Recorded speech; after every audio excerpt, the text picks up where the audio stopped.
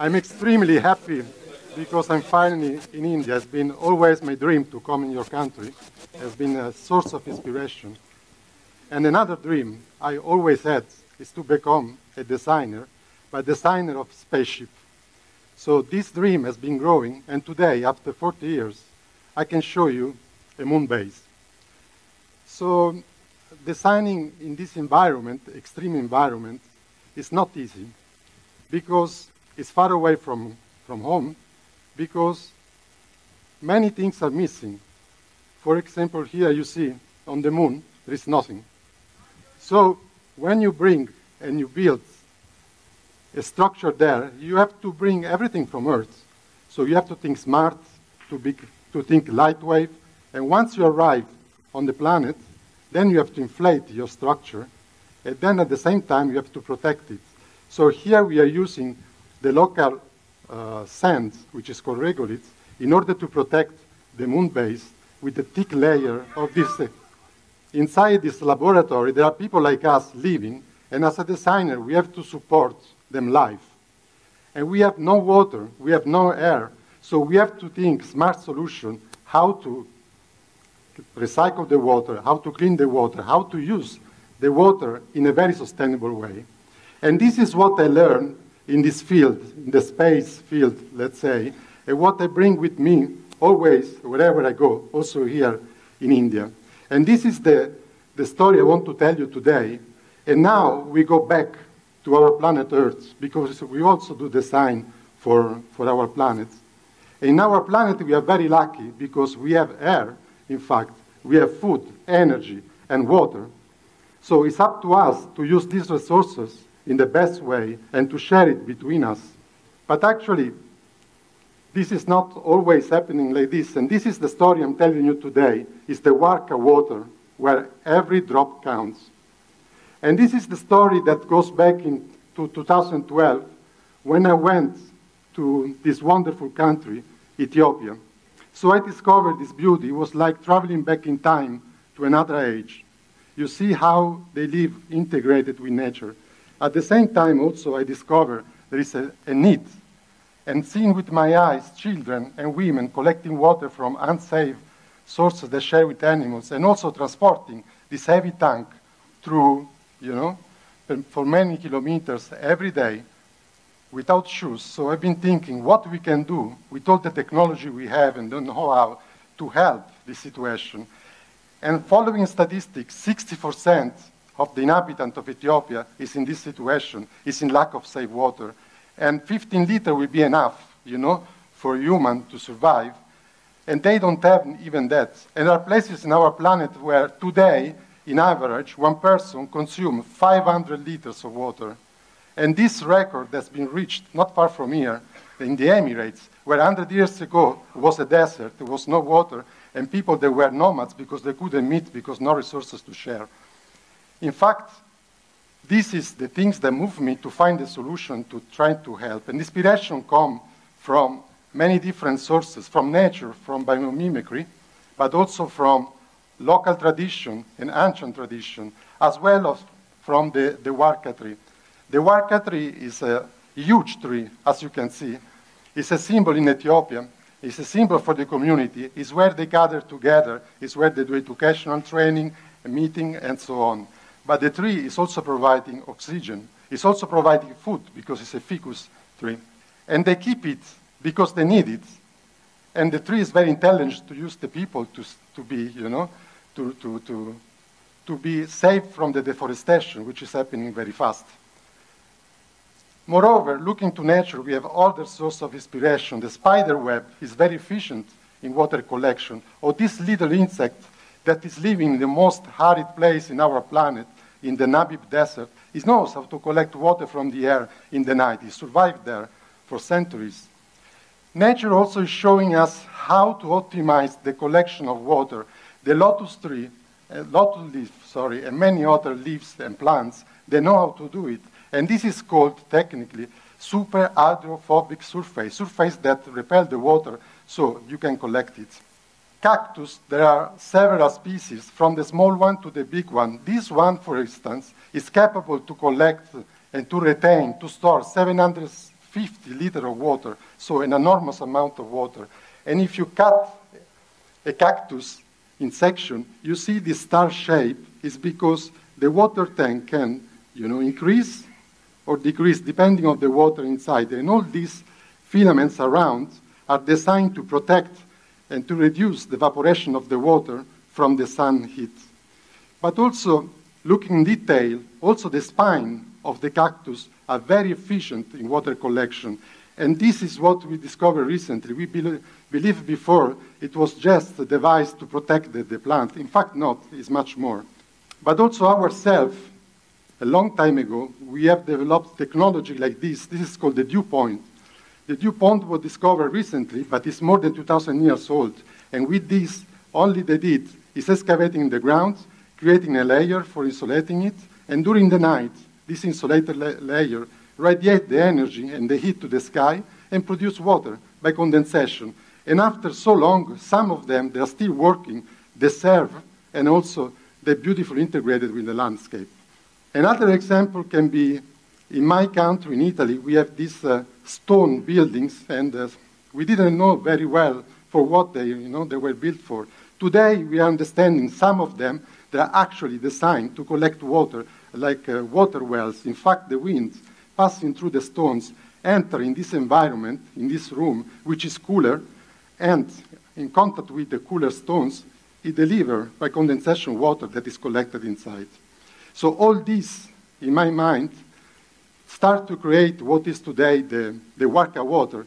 And the objective with it was to do something easy to be used, that it doesn't create any damage to the landscape, and also that can be made locally, can create every day 100 liters of water, potable water, and cost less than 100, $1,000, sorry. So this was the objective.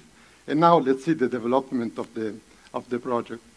So since three years, we are working on the Warka water, and this is the, the different version up to the fifth one, fifth one we have developed so far.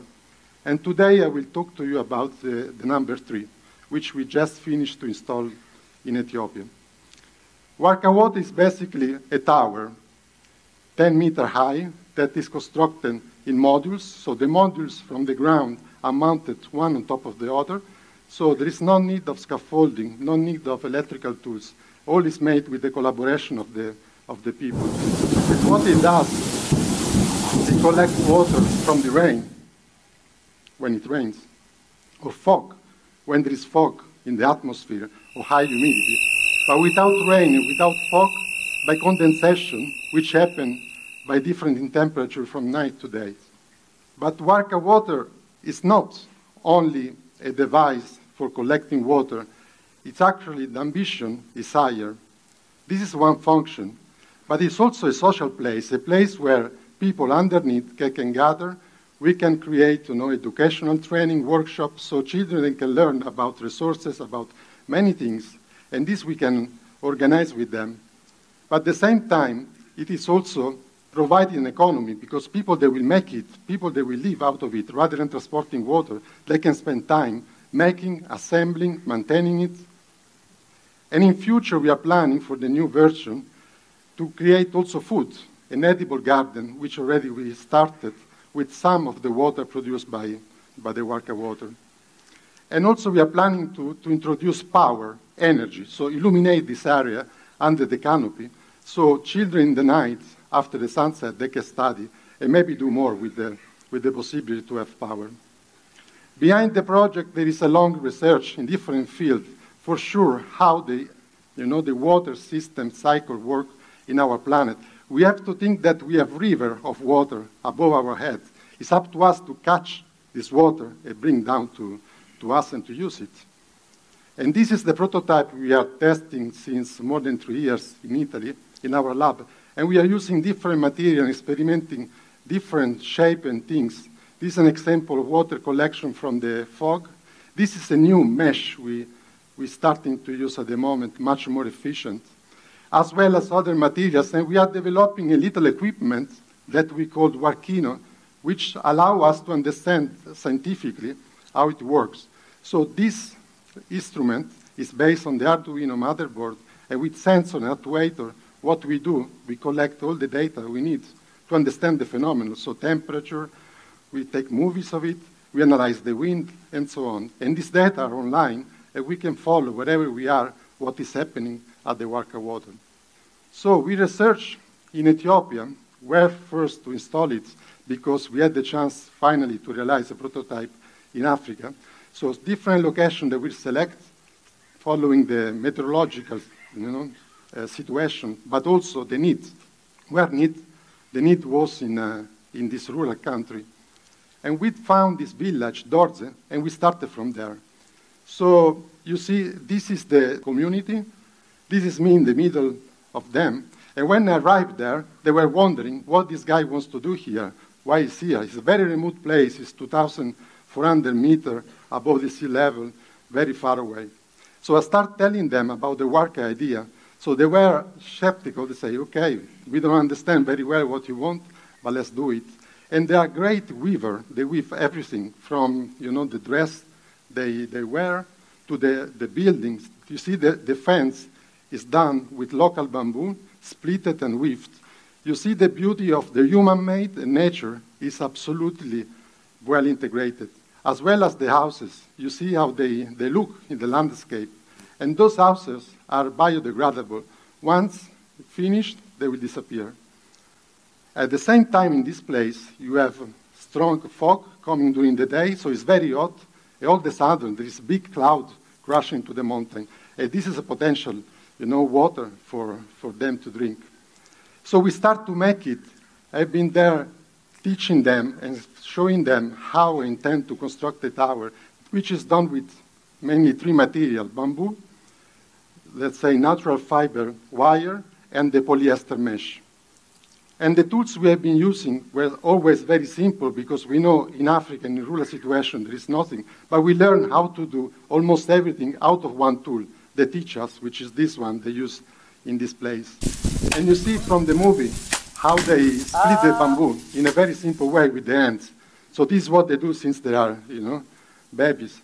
So here we started working together, the collaboration in order to, to build the work. And it was very exciting, an amazing experience.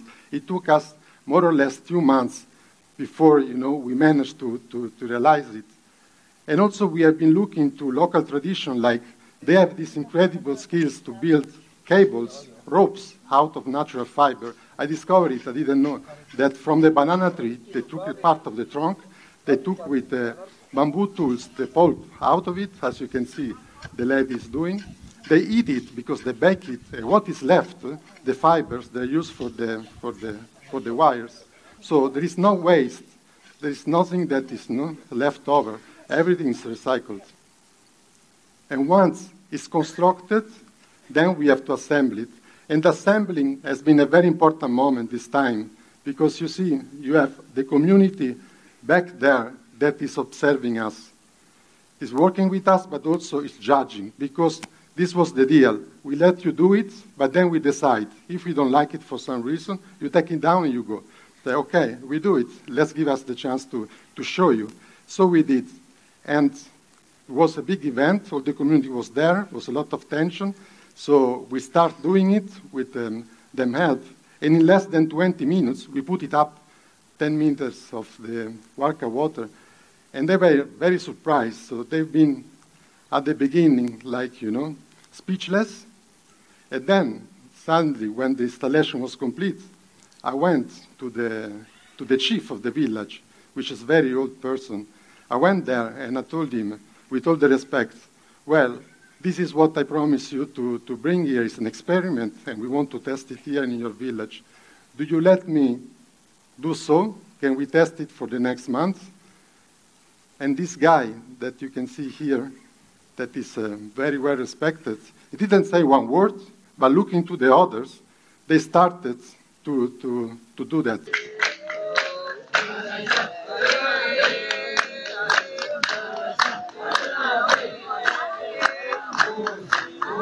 So, not one word, but they expressed the happiness with dance and with joy. So we have been dancing the entire day up to the night. It was an incredible party all around the Warka.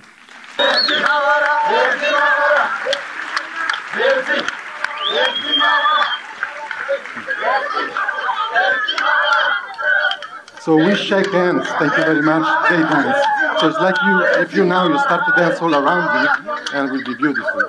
And they also didn't have music; they were singing themselves.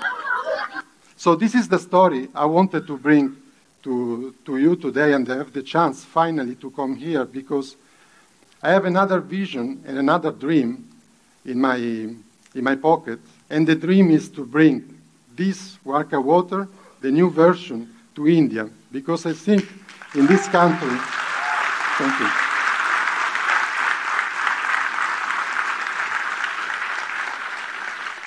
Because I think in India we have both. We have, unfortunately, the need of water on some rural you know, community. We have the environmental condition to make it work, but also we have the skilled, intelligent people, the industry, the capacity of making it, of make it happen.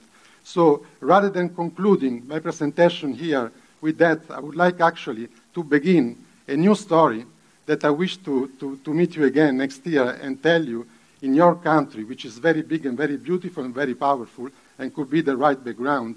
So welcome on board to all of you that want to be part of this uh, challenge. So all of you, you are many, you are all important, very important because each or every drop counts. Thank you very much.